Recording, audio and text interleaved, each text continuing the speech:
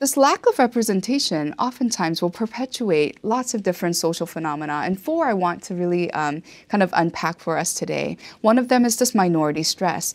And Meyer talks about minority stress as stress from experiences of prejudice and expectations of rejection and internalized racism. Internalized racism, of course, being that I no longer need external forces telling me that something about me is wrong, but that I've internalized, I've, it's become a part of my own normalcy that I have these internal voices now that kind of keep me in my place.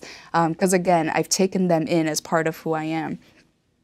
Just the fact that you are the sole minority person in any classroom or a club or of whatever context you can think of, that alone creates stress. And we have to know that this lack of representation, knowing that you are that one voice for your people, again, creates undue stress for a lot of students of color.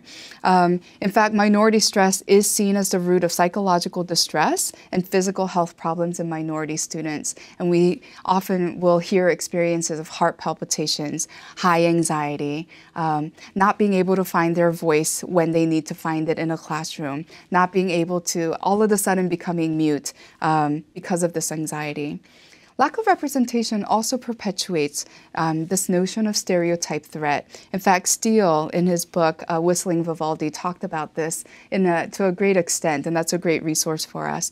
But stereotype threat is, is this fear and anxiety associated with whatever it is, however I perform, uh, whatever it is that I do and say, it's going to actually confirm the stereotypes that exist about me.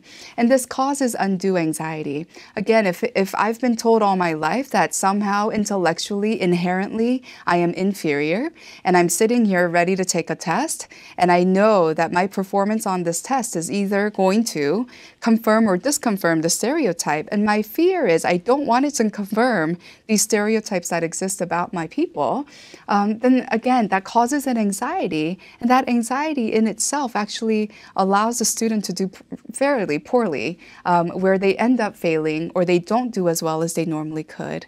Um, and that again, it's a, it creates a terrible cycle in that it does confirm the stereotypes that exist, and again, um, really impacts the students negatively when it comes to their mental health.